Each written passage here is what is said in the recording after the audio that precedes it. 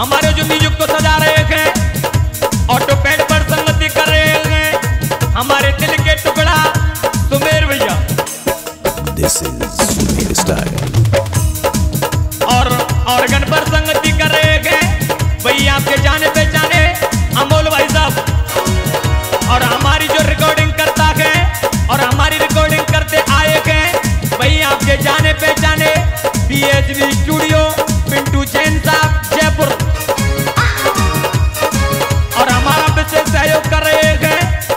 Vaishno music centre and Vaishno DJ Surat Mahesh